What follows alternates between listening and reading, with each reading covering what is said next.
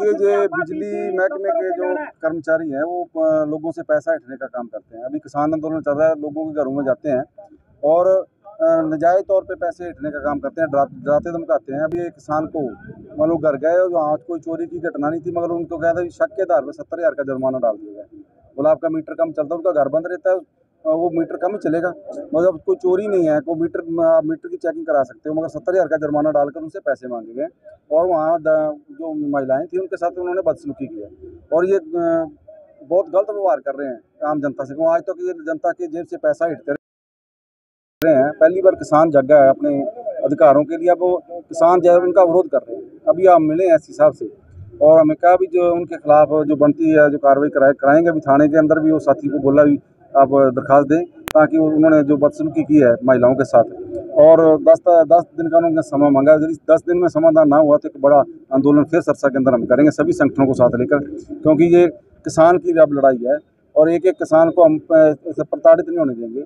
और हम मिलकर एक बड़ा आंदोलन फिर दस दस दिन का समय है और दस, क्योंकि रणजीत सिंह चौटाला यहाँ का बिजली मंत्री है और बिजली मंत्री की शय पर वो एस डी ओ कूद रहा है। वो मोदी के गीत गा रहा है। यदि उसको मोदी के गीत गाने हैं तो पहले वो अपना पद छोड़ दे और बीजेपी में शामिल कोई इतराज नहीं।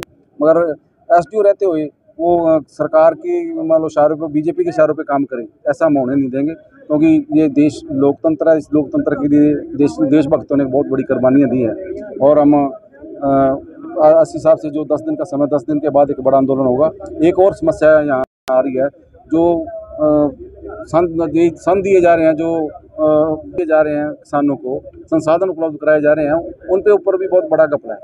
सब्सिडी के नाम पे घोटाला किया जा रहा है और उसका जो बिल है वो कम दिया जा रहा है और किसानों से पैंतीस हज़ार ज़्यादा पैसे दिए जा रहे हैं, मगर वो जो ऊपर वाले पैसे हैं, वो अफसरों की मिली से किसानों की जेब से निकाल रहे हैं। अभी हम किसी साहब से मिलने के लिए जा रहे हैं। देश मतलब हरियाणा सरकार के मंत्रियों का भी इसमें हाथ है बड़े स्तर पर करोड़ों का घोटाला है। पूरे देश में ये मतलब ऐसा घोटाला है, सब्सिडी के नाम पे घोटाला है। अभी मिलेंगे इस हिसाब से, वो भी हम मांग उठा रहे हैं और तमाम किसानों से भी निवेदन करेंगे, जहाँ भी किसानों से न्याय हो, हम मिल के साथ, एक एक साथ लड़ेंगे। दस दिन के बाद फिर एक बड़ा आंदोलन सरसा की धरती पर करना पड़ेगा, ये मजबूरी है हमारी।